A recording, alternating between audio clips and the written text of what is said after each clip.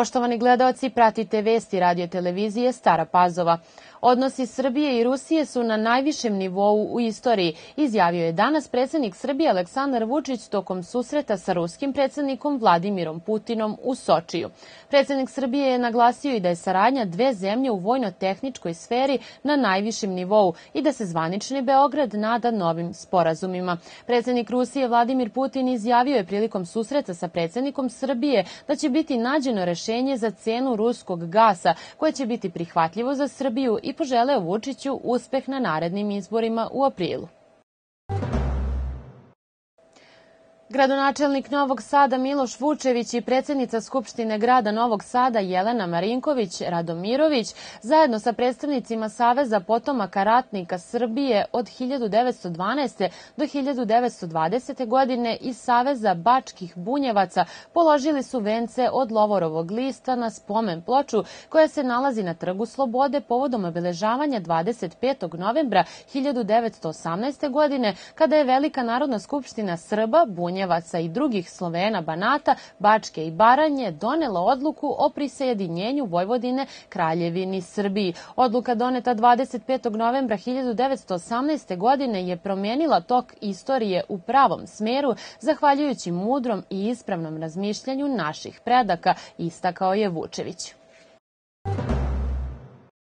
Potpredsednica vlade i ministarka kulture i informisanja Maja Gojković istakla je danas povodom Međunarodnog dana borbe protiv nasilja nad ženama da svaka žena ima pravo na život bez bilo kakvog vida zlostavljanja. Ne okrećimo glavu od nasilja, ono nije privatna stvar, poručila je danas potpredsednica vlade i predsednica koordinacijonog tela za rodnu ravnopravnost Zorana Mihajlović. Epidemijska slika u Srbiji je povoljnija. Opada broj novozaraženih na dnevnom nivou, ali i dalje je mnogo preminulih od posledica zaraze. Manji je broj pregleda u ambulantama, kao i pacijenata na lečenju u COVID bolnicama, ali i građana koji čekaju ispred COVID ambulanti. Redovi su sada na punktovima za vakcinaciju i za prvu i za booster dozu. Struka poručuje da je pad broja novobolelih dobar podatak, ali da nema argumenta za opuštanje i da je poštovanje mera ključno. Na teritoriji Staropazovačke opštine za poslednja dva dana evidentirano je 47 novozaraženih osoba. Opada i broj aktivno bolesnih, trenutno ih je 362, govore najnoviji podaci Zavoda za javno zdravlje Sremska Mitrovica. Ministarstvo prosvete, nauke i tehnološkog razvoja Republike Srbije doniralo je 20 računara i štampač Staropazovačkoj osnovnoj školi Heroj Janko Čmelik. Donaciju je juče u Rumi preuzeo direktor škole Janko Havran. Kabinet za računarstvo ova škola od pomenutog ministarstva dobila je još 2011. godine, a nova oprema biće od velikog značaja jer će unaprediti nastavu i olakšati rad učenicima i profesorima. Već od ponedeljka đaci će u okviru informacije informatičke nastave sedeti za novim kompjuterima. Sutra se održava tri puta D, festival pozorišnog stvaralaštva dece. U okviru 27. dana Dečijeg pozorišta ove godine će u takmičarskom delu programa sa početkom u 10 časova nastupiti učenici osnovne škole Čmelik sa predstavom Put ka sreći. Nakon njih ansable iz Aradca sa komadom Pada kiša. Predstava iz Kisača Poljubci iz organizacionih razloga odigrana je pre nedelju dana, a sve učesnike ocenjuje stručna komisija u sastavu Miroslav Benka, reditelj, Miroslav Fabri, glumac i Aleksander Bako, reditelj. Kao gosti u 11.50 časova nastupit će gradsko pozorište, dečija scena iz Rume sa predstavom do poslednjeg šaha. Svečano proglašenje najuspešnijih planirano je u 13 časova. Ulaz za sve predstave je besplatan. Pozorišni lovor 51. smotra Slovačkog amaterskog pozorišnog stvaralaštva ove godine je prilagođen situaciji sa koronavirusom, tako da su sve predstave igrane na domaćem terenu gde ih je gledala ocenjivačka komisija u istom sastavu kao i na dečijoj smotri. U subotu će u pozorišnoj sali u Staroj Pazovi biti svečana dodela nagrada najuspešnijim kolektivima i pojedincima, a u njihovu čast biće odigrana predstava Profesionalci po tekstu Dušana Kovačevića u izvođenju domaćinju Slovačkog vojvođanskog pozorišta iz Bačkog Petrovca. Organizatori oba festivala su Slovačko kulturno-umetničkog društvo Heroj Janko Čmelik, Nacionalni savet Slovaka, Zavod za kulturu vojvođanskih Slovaka uz podršku Kancelarije za dijasporu Slovaka i opštine Stara Pazova.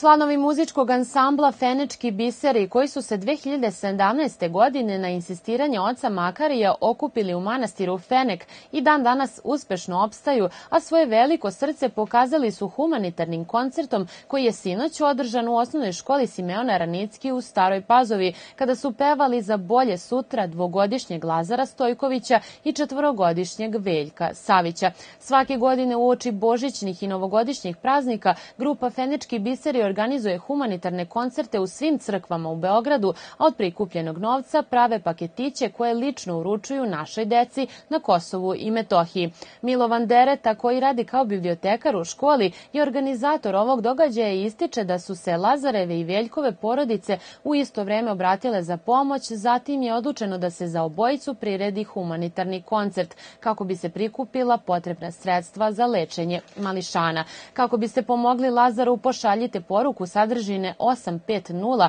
na 3030, a za pomoć Veljku pošaljite 739 na broj 3030. Vaš odvojen minut za slanje poruke njima znači korak ka srećnijem detinstvu.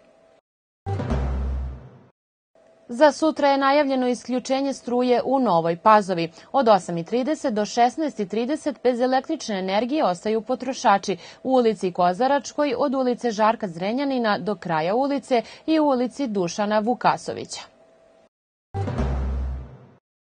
Obaveštavaju se građani da će se zbog izvođenja prve faze radova na kanalizacijanim vodovima od petka 26. novembra u 9 časova u narednih 7 dana biti obustavljen saobraćaj u Starim Banovcima na raskrsnici ulica Milenka Pevca i Pere Čodanovića. Saobraćaj će biti preusmeren na ulice Sremska, Ive Andrića i u ulicu Zlatka Skerletovića.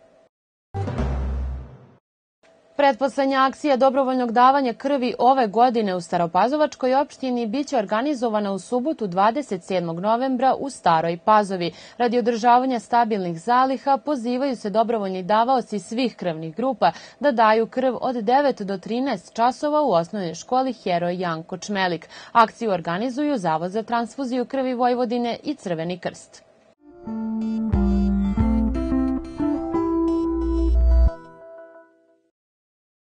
Sutra umereno do potpuno oblačno, mestimično sa kišom, a više padavina se očekuje na severu Srbije. Najniža jutarnja temperatura biće od 1 do 7, a najviša dnevna neće prelaziti 14 stepeni. Hvala vam što ste bili uz nas i pratili vesti radio televizije Stara Pazova. Ostanite i dalje uz naš program. Prijatno!